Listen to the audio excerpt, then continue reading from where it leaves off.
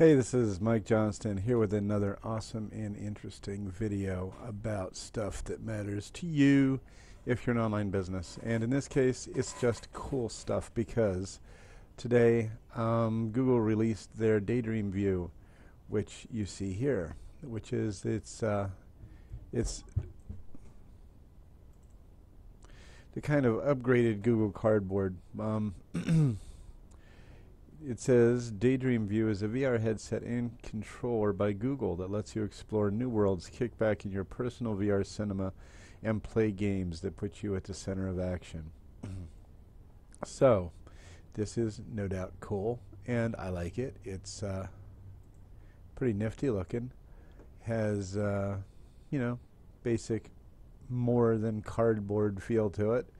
And I had Google Cardboard actually uh, last year um, I got it as part of a promotion for a movie, and I thought it was cool. I had fun with it. And just recently, I wanted to check out VR on my iPhone 6. Well, couldn't do that with the old cardboard, so I ordered a nifty new VR headset from China, which I put together myself. Look at that. Okay? Not super durable, but the phone goes in here, you fold it up. It's kind of like cardboard, except big enough for iPhone 6. And, you know, it works. It gives you a, uh, a taste of, of what VR is. And um, once you have that taste, I think you really can start to understand how VR is going to change everything in the world of visual entertainment. Um, because, and, and a better VR headset, such as um, Oculus or, um, you know, one of the other, and even the uh, the uh, PlayStation 4 has a VR set that you can get for it. Um, and it's become down into the range of being affordable. I mean, Oculus is still between like 500 and 800 dollars for the head for a good headset. Um, I think the Google headset here is about 70 bucks. At least that's what I had seen quoted. Um, as being the, the estimated price of it. Um, so okay, you know, cool. And, and, the more you imagine it, and if you like I said, if you get the chance to play with it, you can now watch um, videos on YouTube in VR. Um, and there's technically two different things which get mixed. There's 360 videos, which just lets you look all around. Otherwise, panoramic videos could be another name for them that people use. Um, and then there's VR, which is virtual reality, which is another reality, which might be cartoons, it might be augmented reality, where, um, like Pokemon Go, you have not real things blended into your view of real things on your iPhone or, or your other device. And then now imagine that on a headset, so you have things that aren't there mixed in with things that are there. And I think it's going to be evolving really quickly. And I've been watching vlogs a lot of late because I'm kind of doing more with video. I've always really liked video. Um, 10 or 12 years ago, I, uh, I saw a lot of the future of what was going to come, and I, I tried to build a, uh, a website of what I thought a web to TV channel might look like. It was called the Indie Channel, which is spelled T H E I N D E C H A N N E L dot com. I couldn't get I N D I E. I had to go with I N D E. But anyway, Indie Channel. And it was based on WordPress, and, and the front was a big video player that would play big enough to go on to TV. Um, so if you got a, a, smart TV and you could look at a web page through the TV, you could watch it that way. And I had a, um, a lot of indie music and indie film clips on it, and um, I had the, the front video player set up as streaming a playlist. You can watch any video on YouTube now with um, VR. It's even if it's not shot in VR, although uh, that works kind of, I think, on a lot of videos. But um, things like cardboard and the, the little Chinese VR box and Google's new uh, headset I think really brings VR within the reach of anybody to try it. And once you try it, you'll probably be hooked. Well, okay. So what are, what's going to come from VR? What is going to VR, VR going to do? Well, imagine anywhere you can go that you can take a photo, you can create a VR experience. That's one thing in the real world. Um, and the technology to do that is also getting more affordable. I uh, I did a quick search on um, VR cameras just to that's Hootsuite. Get out of there. Okay, just to see what was available and what was going to be available. Um, let me get onto the right thing because I I have uh, the top of the screen recorder over my tabs. Okay, and I found the Vuze camera, and um, I there's a lot of cameras out there. And if you're a camera manufacturer, I'm sorry, I'm not trying to exclude you, and I'm not saying Vuze is particularly any better. Just that this is what I found, and um, it kind of represents what I wanted to talk about.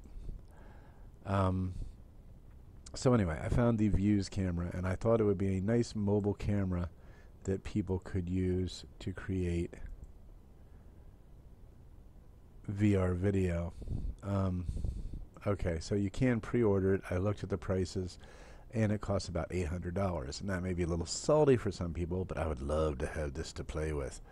Um, and then when I was thinking about that, because I've, I've also been watching a lot of vlogs lately, um, because I've been doing more video and it's something that's caught my interest. Um, specifically, let's say Casey Neistat and Roman Atwood, because um, I mean they're kind of right now at the top um, of the of the genre, and because of that, I've been watching what they do. And Casey does a lot of camera work with a lot of different cameras and a lot of different angles and with drones and all that stuff. And I thought, oh, well, I wonder how long it'll be until he does his first VR episode, a whole episode in VR. And then I thought, well, I wonder if anybody really did that. And I searched for it. And the truth is, I don't think anybody's really done a good VR vlog episode. There, there's one there that's kind of like, okay, but it's pretty basic. Um, and um, so I thought, well, I wonder how long that'll be. And, and that could be interesting because if you imagine, like with a uh, with a vlog, you know, you, you have to look at perspective. Well, okay, I say I have one VR camera. How do I want it? How how do I want the viewer to experience my world? Um, for example, I could screw it onto a hard hat, stick it on my head, and then the viewer would get the experience of essentially being me because the view would be like right here and they could see everything I'm doing? Or do I want to put it on a stick and hold it here? And then the perspective will be like you're right beside me. Um, that's pretty cool. And I thought, I want to get one of these. I want to try this. So, Vuze, if you're listening, demo. Demo. Okay. Anyway, but I really would. I really would. I, I've like, I've joined up with your social networks and things like that. And uh, I really think that uh, this is the future. Um, another nice thing about the Vuze is also that it comes with its own video editing software that lets you edit 2D and 3D and VR and all that. Um, so that's probably something you're going to need if you're going to get one of these cameras. Um, I would imagine. Uh, so that's that's the camera. Okay, and then I'm just going like my train of thought today because I was thinking about this all day long, and it's just like expanded. Um, and the more you think about it, the more you realize this is probably the next big technology that's going to change something that is really familiar. Because now, imagine doing movies and TV in VR, so that you know, like you're in an action, you're watching an action movie, and instead of being back here and the movie's up on the screen, or even 3D where it's coming out at you, now you're inside the movie and you know like there's a chase scene going on. You might be in the car that's being chased with the star and he's like you know and you're right here. Or you might be outside the car kind of hovering or you might be up in the air watching because it's the same thing as doing a vlog. Where do you want the perspective of the viewer to be? Um, and and I didn't really look at that. Sorry, I didn't I didn't look at that to see when he's going to do that. And I mean, you can do it with TV too, and pretty soon where 3D TV kind of flopped, it's going to be just a regular 2D TV with VR capability and a headset. that works with it. Um, and to give you a, a, really immersive entertainment experience, and imagine it at sporting events.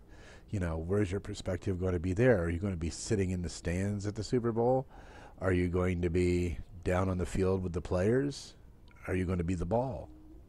You know, I mean, there's so much potential there, um, and and it, you know, you could argue that okay, well, it's going to hurt live events like a concert if I can virtually attend a concert via a VR camera, why do I want to spend two or three hundred dollars for a ticket and go?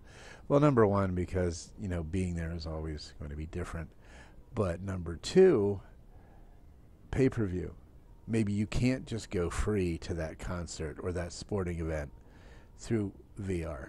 Maybe it's going to be a pay per view experience. Well, that's okay, you know, and and you could have one headset registered per ticket, and you know, a unique identifier with uh, with each headset, so that only one is going to be activated. I mean, there there are ways around it, and obviously people will think of a lot more. um, but being consumer affordable, I think, is really interesting, and it's going to change things. Um, and then what about other things? Gaming. Well, the new PlayStation 4 already has a VR pack that you can get that uh, brings VR into PlayStation games. Um, for some reason, the browser is being super slow here, which is a pain in the butt. Probably because I'm recording and doing this. Oh, and I got a browser. Yeah, I have. Yeah, okay. I have too many things open it's it's a rudimentary desktop. Sorry. Um, so there's that. So there's PlayStation VR. There's Oculus Rift. There's um, others. You know, and like I said, at the low end of it, price wise, is the new um, Google headset. Uh, okay, so that's VR games, and and I'm I'm also thinking about how streaming is going to go like I'm recording this with Bandicam, which is popular among um, game streamers on YouTube and, and other platforms. And I'm wondering if you're going to be able to s- stream VR games. Well, I, I checked that out. And as it turns out, the answer appears to be yes, you can, and there's already a company set up to do that. Um, and here they come. Wowza. It's Wowza. Wowza.com. If it ever loads they are a streaming provider for VR, like Livestream or YouTube is for regular video, and I'm sure YouTube will get on the bandwagon and be, you, you'll be able to stream VR. Since you can already stream, you'll soon certainly be able to stream VR. But Wowza Media Systems, virtual reality and 360 streaming deliver engaging viewer experiences, and you even get a free trial if you have the stuff to do it. And like I said, there certainly are other cameras, and there are other cameras which are cheaper than the one we were just looking at. However, you know, you can look those up yourself. I'm not going to give you a whole list. um, okay. If my browser was not being such a total friggin' tool. Um, and the next thing I thought of is okay, so it's going to change movies, it's going to change TV, it's going to change streaming um, public events. Uh, you, can stream your local high school football game in virtual reality if you want to, as long as the technology's there, and I'm sure it will be, because things are evolving very fast anymore. So then the next thing is, um, well, what about chat? What about video chat? When are you going to be able to essentially be with the person you're talking to in the same um, virtual reality space? Well, it seems as though you already can to some extent, at least with um, animated characters. Um, okay, well, how long until you can do it live? Let's say, you know, I'm I'm in a room in Pennsylvania and you're in a room in Los Angeles.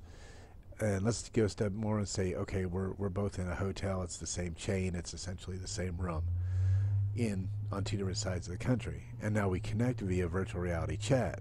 It's pretty much like we're in the same room. It's sort of an augmented reality. Now both the rooms are the same, so it looks the same to both of us. And now we're both there. The only difference is we can't physically touch. Well, that brings to mind chat roulette and, and sites like that where there's that two way disappearing video stream that lets you chat with all sorts of people.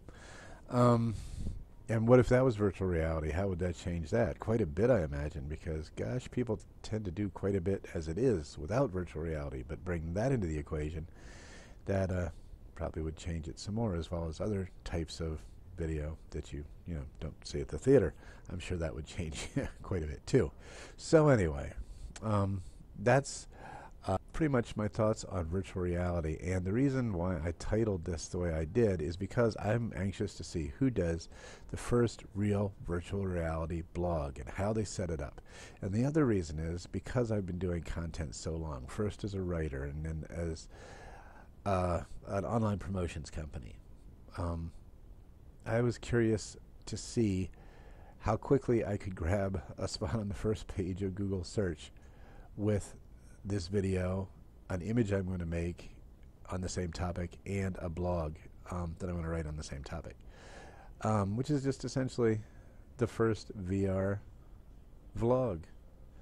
Um, you know, it's going to be a long tail keyword, a long tail keyword search. 20 years from now, people are going to search for who did the first VR vlog. And then, you know, my stuff will be there. I just it's it's a marketing thing. I want to see how fast it takes. And right now, it's it's fairly wide open territory. There's a lot of stuff that shows up, but very little with those that specific title, um, with those specific keywords. So that's your marketing lesson. Let's let's watch that, and we'll just do the search uh, every day for a couple days, and, and see how long it takes me to get to the first page of search. Is either an image, a video, or a blog result, or perhaps all three. Um, and there's your marketing lesson. Thanks for watching. My four year old, Vi, also has her own YouTube channel and does her own little show. Um, she does toy reviews and, and she goes places and sees things, and it's a fun little show. I'm starting her off early because she, at four, is going to be the one who inherits all this technology, which is just starting to come to be now. So, uh, and there's also a link to um, my uh, business YouTube channel down there as well. So if you want to learn more about what I do as a business, check that out. Tater Tot. And subscribe, like, whatever. Join up for the ride. It's going to get interesting. See you later. Hey, I saw the coolest thing yesterday when I was at Ferguson Plumbing Supply in Oaks, PA. They have these little scooter carts that the employees use to go around and, and pick parts for people's orders. Um, it's like a little sort of razor scooter built onto a cart that they like scoot around the building with. I have some video which is coming up now, so watch.